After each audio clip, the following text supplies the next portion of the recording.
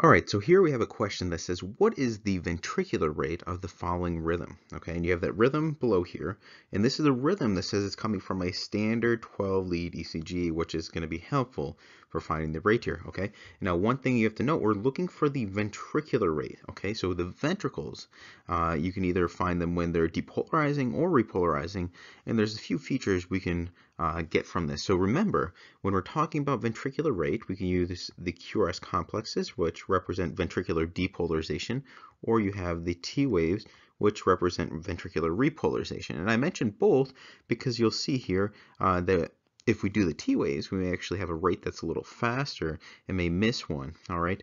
Now, if we were looking for the atrial rate, so if we had another question that asked for the atrial rate, you would do the P waves. You'd be looking at the P waves. Now, if you notice on the standard ECG, most machines will give you the ventricular rate, but not the atrial rate. And I really focus when I teach my students about this is because we'll notice that the machine is not always correct. And that's why I don't want you to become highly dependent on what the machine gives you uh, for all of these, whether it's the axis or the rate or anything else. So that's why I want you to be able to do this on your own, okay? So here we have a rhythm, okay? And you'll notice we have a regular rhythm. Okay, so regularity, that was another sort of uh, thing that we'll look at, but regularity is simply when we look at these waves, are they having the same interval throughout? So uh, one way we could do this, take these S waves, which are deep here, okay, here's one S wave, to the next, and this is the S to S interval. You may also hear the R to R interval from this wave to the next one. Okay, now it doesn't matter which one you use, the R to R, the S to S. The S waves are clearest to make out, so we'll use that. And you'll notice that these S to S intervals are the same, okay? Now that's helpful because it gives us a few ways we can find the rate. So we have a regular rhythm, okay?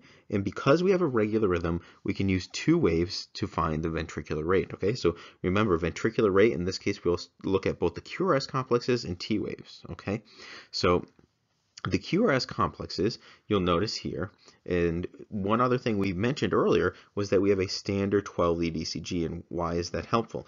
Well, remember from beginning all the way to the end of our standard 12 lead represents 10 seconds, okay? And if you multiply that by 6 is 60 seconds, okay? So 60 seconds, that means if you count the complexes going across and you multiply it uh, by 6, it'll give you uh, the number of beats per minute. Remember, 60 seconds equals 1 minute, okay? And um, what do I mean? Why does that come about? Well, if you imagine this is one ECG that we're looking at, so one rhythm strip from one ECG, and that whole ECG is 10 seconds, okay? Now imagine that we had six right next to it, okay? So that's five and six, okay? Each one representing 10 seconds, and you can see if you added them up, this whole thing here would represent 60 seconds. And that's where we get multiplying it by 6 because you see 1, 2, 3, 4, 5, 6. Okay, so we're going to now count the complexes going across.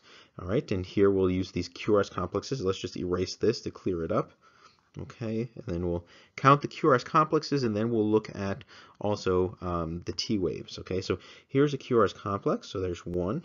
Okay, here's two, three, four, five, six, seven, eight, nine. Okay, so we have nine going across. So imagine you have nine on these, three, four, five, six, seven, eight, nine.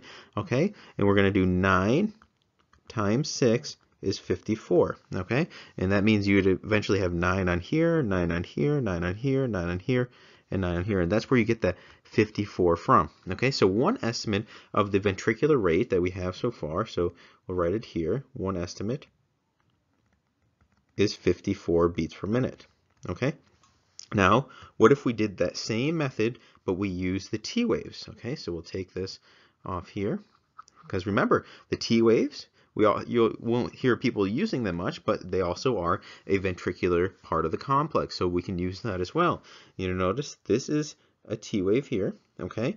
That's two, three, four, five, six, seven, eight, nine. And you'll notice there's actually one here, so there were 10, okay? So in this case, you would do 10 times 6, which is 60 beats per minute. Okay, you can so you can see there's maybe a slight difference, but the ventricular rate, rate will be somewhere between 54 beats per minute and 60 beats per minute. Okay, so somewhere between there. And the actual one on the machine actually gave us 57, so you can see it's right there. So that would get us and put us right here for that choice.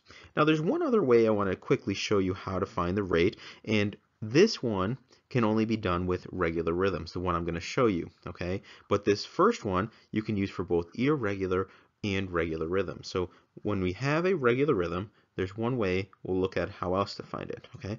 And that has to do with finding one of these ventricular complexes that falls on one of the thick lines, okay? And we can use this one here. Notice that it falls right here on that line, okay? And we're going to find the next QRS complex, the S wave, okay? And now we're going to count those thick lines between it, okay? So here's one, here's two, three, four, five, okay? So it's just over five, and what you would do is 300 divided by five, okay, is 60 beats per minute. But because it's a little more than 5, you can see that it's going to be less than 60, okay, but close enough to 60. That's pretty much what we got here with that first one. And you may be wondering, where do we get those 300 boxes from, okay? Well, what you would get them from is by knowing that if you were to take the beginning of this and count all of these thick lines up until um, 6 ECGs, so again you had the six ECGs and you counted all those thick lines between them, you would get um, 300 okay? And you're going to then divide that by the number of thick lines. Now with faster rhythms, you may hear using 1500 and you would divide that by the small boxes. And that's simply because each of these thick lines here from one to the other contains five small boxes. And that's where that 1500 comes from, 300 times 5. Okay, so again, this is the ventricular rate, so we're focusing on ventricular complexes. We know that the standard ECG is 10 seconds. We, we count them up, multiply by 6, we get an estimate of the rate, okay? We have an also a regular rhythm that we mentioned, okay? So we mentioned we can find one that falls on a thick line, find the next one, divided by the number of thick lines between it. We saw was slightly less than 60 beats per minute, and again, putting us between uh, 40 to 80 beats per minute as our answer. All right, well, that's the end of this lecture. I hope you learned something. Please don't forget to like this video and leave a comment below if you like what we're doing. In fact, many of you have asked how you could help us out. Really, the best way you could do is simply subscribe and share this resource with your friends. And you get free access to more than 300 videos. There is also a community of over 270,000 of us like-minded individuals on Facebook. So stop over and join the EKG Guys uh, Facebook community. Many of you have also asked some questions. Leave them below or share them on Facebook and we can try to answer them with a short video so everyone else can learn. We also have a number of new courses with corresponding videos coming out soon, so stay tuned for those. Last but certainly not least, your feedback is incredibly helpful and your kind words are always an encouragement on those long days. So let us know how we're doing. Thank you again for your support. It is truly appreciated. We are the largest, fastest growing EKG resource in the world.